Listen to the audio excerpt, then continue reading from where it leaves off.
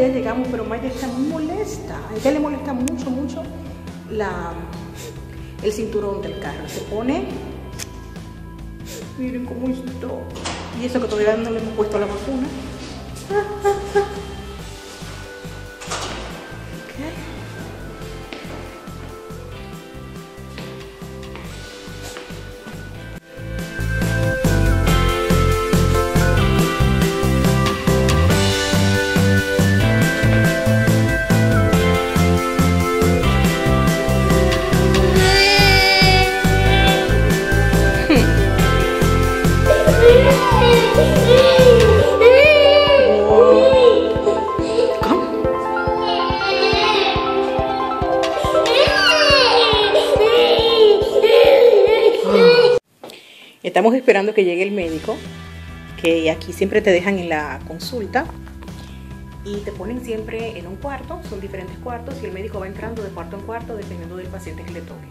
Y estamos esperando al médico y Mike está acabando con todo.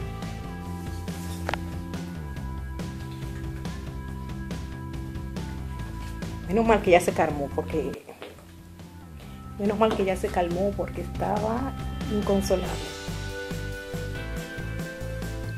Maya, esa es la pupe. La pupe. ¿Eh? ¿Pupe?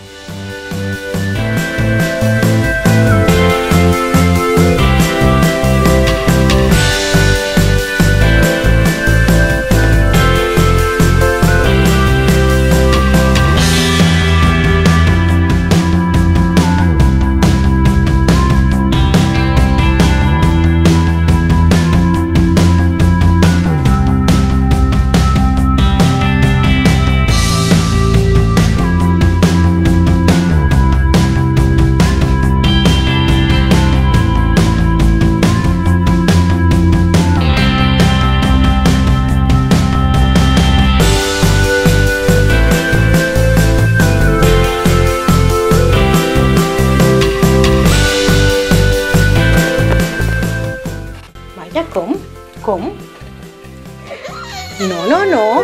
¿Cómo? Ah. Ah, entonces me voy para la casa sola. Me voy sola. Ven, ven que nos vamos.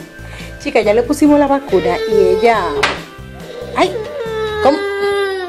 Y ahora no se quiere ir. Ahora no se quiere ir. Ya la voy a cargar y nos vamos ya.